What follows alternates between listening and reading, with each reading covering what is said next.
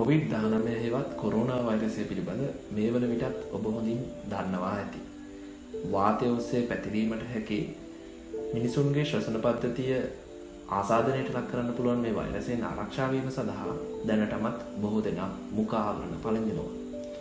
වෛද්‍යවරු නිර්දේශ කරන ලද N95 රෙස්පිරේට මාස්ක් හා සර්ජිකල් මාස්ක් මේ සඳහා සුදුසු වුණත් අද වෙන විට වෙළඳ පොළ තුළ එවැනි සර්ජිකල් මාස්ක් හිඟයක් පවතින්නේ. මෙන්න මෙවන් පසුබිමක තමයි වෙළඳ පොළ තුළට ආදේශක මුකාවරණ පැමිණේ. මෙවැනි ආදේශක මුකාවරණ වලින් සර්ජිකල් මාස්කකින් ඉටුවන කර්තවය නැත්තන් ඒ ආරක්ෂාව ලැබෙනවාද කියන කාරණය අපට ගැටලුවක්. මේ සඳහා යම් අදහසක් ලබා ගැනීමට අපට පුළුවන් සර්ජිකල් මාස්ක එකක ඩිසයින් එක එම නැත්තම් ඒ ඉටුවන කාර්ය කෙලෙස ඉටුවනවාද යන කාරණය පොඩ්ඩක් සලකා බලන්නට. සර්ජිකල් මාස්ක එකක් ස්තර තුනකින් සමන්විතයි සාමාන්‍යෙන් පිටත පවතින මෙම නිල් පැහැති ස්තරය ජලයට අපාරගම්මය ස්තරයක්. එහෙම නැත්තන් සරලව කිව්වතින් ජල බිනිතිවලට මෙම ස්තරය හරහා මෙ මාස්ක එක තුළට කාන්දුවෙන්ට බැහැ ඊට යටතින් මැදින් පිහිටි ස්තරය තමයි ෆිල්ට ලය එක විදියට කටයුතු කරන්න.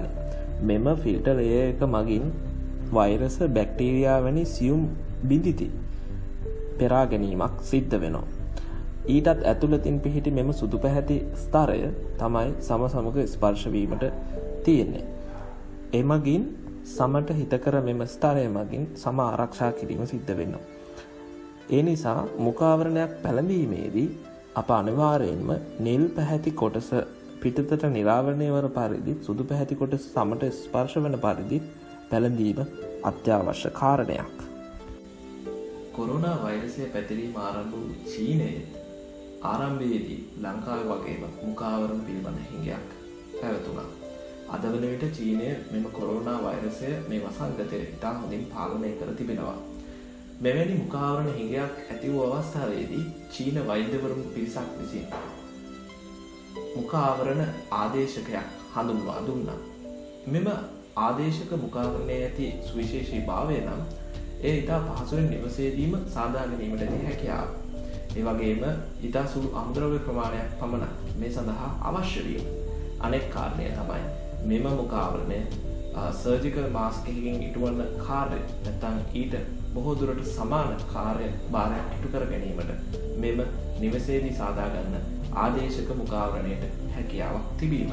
ඉතින් අපි මේ වීඩියෝ තුළින් බලමු මෙම චීන වෛද්‍යවරු පිරිස විසින් යෝජනා කරලද මෙම මොකාවරණය මෙම ආදේශක මොකාවරණය අප නිවසේදීම සාදාගන්නේ කොහොමද කියලා මුලින්ම බලමු මේ සඳහා අවශ්‍ය කරන ද්‍රව්‍ය මොනවද කියලා. පොප්පිය නැති කැරැල්ලක්, ඒ වගේම පොලිතින් රැප් එකක්, කතුලක්, ගෝස් කැරැල්ලක්, නූල් බෝලයක් සහ ඉදිකටක්. පොප්පිය ඉදි කැරැල්ලක් වේමට අපේ නිවසේදී කපුරු ඉදි කැරැල්ලක් භාවිතා කරන්න පුළුවන්. ප්ලාස්ටික් රැපයක් හොයාගන්න අපහසු නම් ඔයාලට පුළුවන් ඒ සඳහා සෙලෝෆින් කොලයන්යක් භාවිතා කරන්න. දැන් අපි බලමු මේ නිර්මාණය කොහොමද කරගන්නේ කියලා. අඟල් 8ක් පළල අඟල් 12ක් දිග පොප්පි නැති කැපැල්ලක් කපා ගන්න. ඒ වගේම අපිට අඟල් 45ක් දිග මුඛාවරණය සාදා ගැනීමට පොප්පි නැති කැපැල්ලෙන් පටියක් කපා ගන්න. ඉන්පසු අපි ප්ලාස්ටික් රැප් එක මේ පොප්පි නැති කැපැල්ල උඩින් තබා ඒ ඒ මතට ගෝස් කැබැල්ල තබන්න. ඉන්පසු අපි ඉදිකට්ටක් ආධාරයෙන් හෝ ගෙදරදීම මසා ගන්න පුළුවන් නම් මැෂින් එකක් මැෂින් එකකින් මේ දාර දිගේ අපිට මසා ගන්න පුළුවන් යටි පැත්තත් ඒ වගේම උඩු පැත්තත් මේ ආධාරයේ මේ ආකාරයෙන් මේ දිගට මසා ගන්න.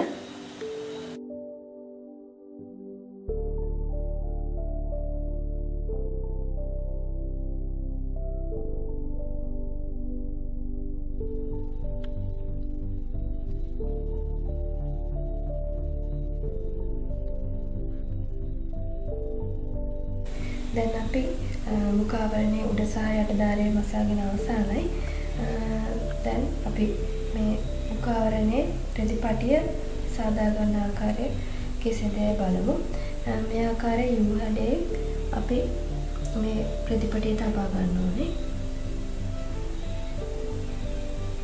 ඉන්පසුව මෙම දාරය මෙසේ නවා මේ මෙම ප්‍රතිපටිය එසේ ගමන් කරන්න ඕන මේ දාලය මසා ගන්න ඒ වගේම මේ පැත්තත් ඒ ආකාරයෙන්ම මේ රෙදිපටිය ගමන් කරන්න පුළුවන් විදියට මෙසේ මසා ගන්න.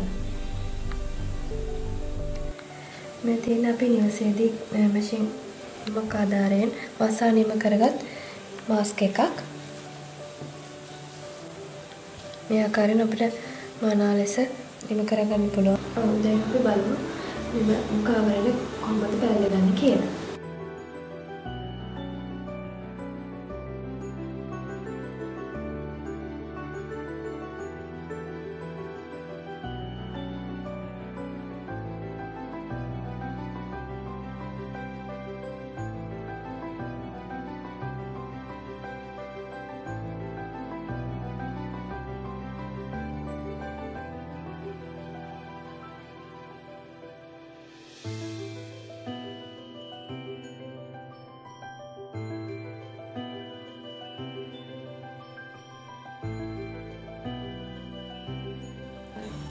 මෙම සර්ජිකල් මාස්ක් ගැන ඔබට දැන් ගැටලු කිහිපයක්ම ඇති. එකක් තමයි මේකෙදි ඇයි අපි සෙලෝෆේන් එහෙම නැත්නම් ප්ලාස්ටික් රැප් එකක් භාවිතා කරන්නේ ඇයි කියලා.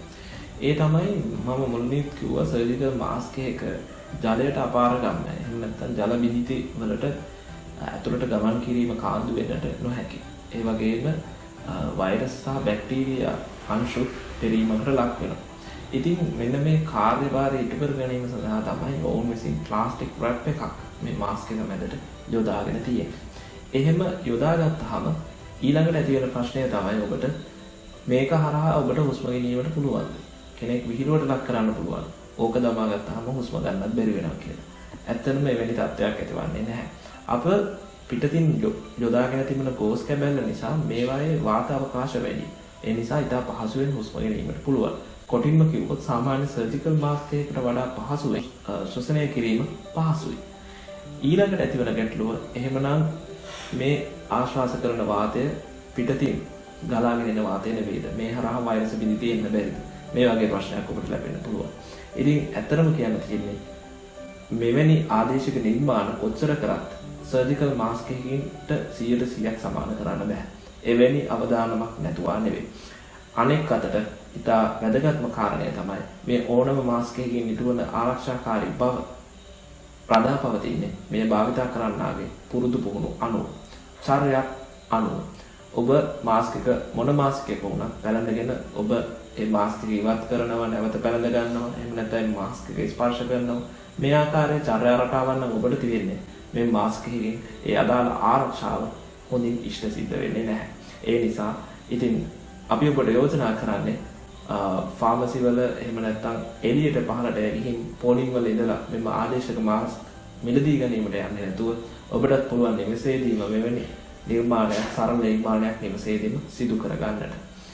එමගින් ඔබ ඔබ යම් එහෙකින් ආසාදනය වුණොත් ඔබගෙන් අන් අයව බේරා ගැනීමට ඒ වගේම ආසාදිත පුද්ගලයෙක් ඔබ වටපිටාවේ සැරිසරනවා නම් ඔහුගෙන් ආරක්ෂා වීමට මෙවැනි මුඛාවරණයක් භාවිතා කරන්නට ඔබට හැකියාව පවතිනවා.